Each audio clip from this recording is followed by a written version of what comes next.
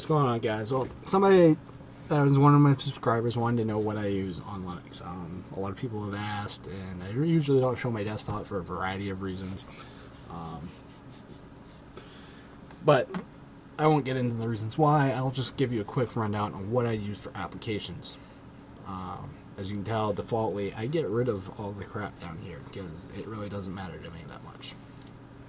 I use a lot of keyboard shortcuts and that stuff when I have various programs open, and I use the desktop environment to my advantage. I like a clean desktop interface. Um, we'll start with accessories. I do have Avant Windows Navigator um, for if I'm showing off some bling. I got Virus Scanner because you never know. Um, games. The only two I've actually really installed have been Glest and Warzone 2100. Those are basically really my only favorite games I've downloaded and enjoy on Linux um, for open source games. Graphics, I've installed GIMP, I installed Inkscape. Kamoso is actually should not be in graphics, it should be under sound and video because it is a webcam program like Cheese, but it's for KDE. And Qosmic, um, go to GNOME look, go to KDE look. Some of those flame fractal drawings and stuff that you'll find are either done in GIMP or they're done in this program called Qosmic, which is a cosmic recursive flame fractal editor written in Qt, according to them. Internet, Ekiga, um, I really don't use. The two, I don't use Firefox. Um, the only thing I use Firefox for is to check Alexa rankings, and I can do that now in Chrome. But generically, I use Opera, which yes is proprietary. God forbid. I actually have a couple proprietary, uh, proprietary programs, um, and I'll explain why I use Opera though.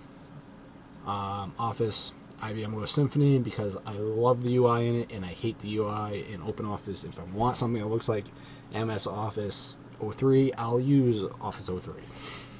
Just my outlook on it. Aesthetics do play some type of importance to me. Not a lot, but some. Unite Media Player. This is an Opera widget. This is the only reason I have Opera on my computer. That and it's fast. I use this because it allows me to stream from my desktop to my phone via anything that has a flash connection. And since I have an Android phone, I can use flash. That's a positive to me. So basically, what it allows me to do is to stream MP3s, my entire MP3 collection and folders and stuff, right from my desktop without having to use anything on my phone, as far as data storage, which is great. Um, sound and video is actually where most of my install stuff is. Audacity I use for podcasting and mixing of various things. Uh, Bangarang is a newer media player. Um, it's kind of half baked, really not fully there yet. Boxee, it's XBMC with a few proprietary add-ons, and if you're on Windows, you have Netflix integration, which is a definite plus. Cheese, um, webcam program, uh, Clementine. For those that did not like the upgrade to 2.0 for Amarok, Clementine is based off Amarok's 1.4, which is like the version everyone loves, and it continues on developing 1.4. DVD I use for making YouTube friendly videos. Enna is a multi. It's not really a multimedia center, but it is. Uh, basically, what it is is it has functions of XBMC. Doesn't have a lot of the scripting stuff. Doesn't have a lot of the modding stuff, but it has some of its own perks and features like ebooks that you can read on there, e-comics, and a few other things. So there's it's different. Exaile, um, that's pretty self-explanatory. Um, it's basically Amarok's for written in GTK. Uh, that's my personal music player anyway. GTK Record, great if you have an NVIDIA or a Intel chip for graphics. Not so good if you're running on open source ATI or sorry AMD or um, their proprietary drivers. Istanbul is actually what I'm using to record this. Jajuk. I like the program. I'll probably end up doing a review of it sometime soon. Um, it's available in Windows, I want to say too, but it is a Java based music player, so there are some serious problems with that being Java based. Kdenlive.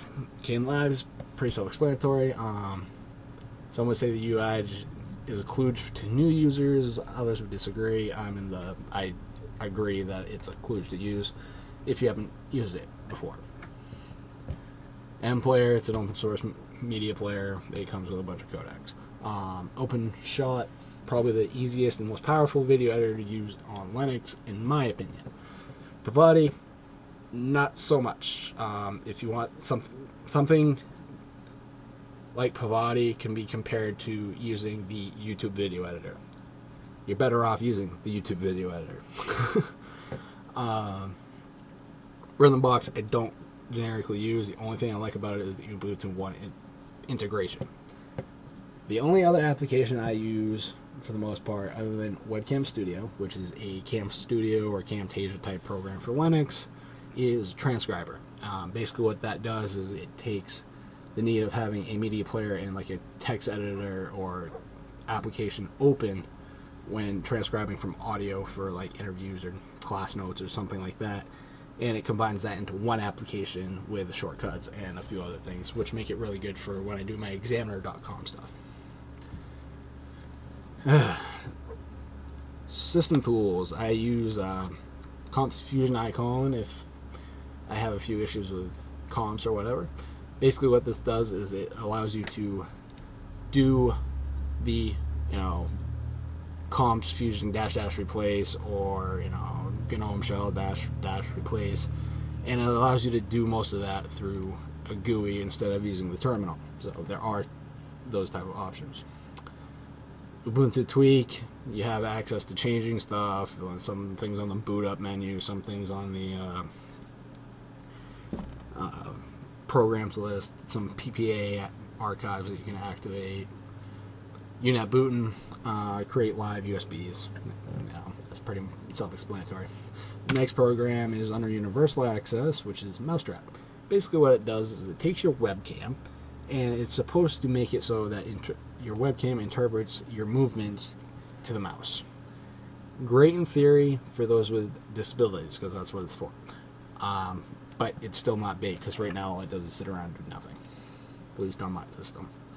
Wine, I have installed for the few programs that I have tried it with, uh, Cam Studio being one of them.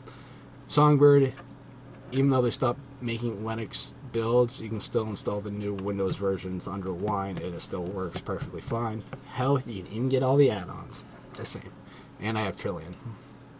But that's for something else. Um, so yeah, that's what I use, guys. Um, a lot of reasons, a lot of variety of reasons why. But, you know, you guys have asked. That's what I'm showing you I use. And that's all I got to say to you guys. So peace. Catch you later.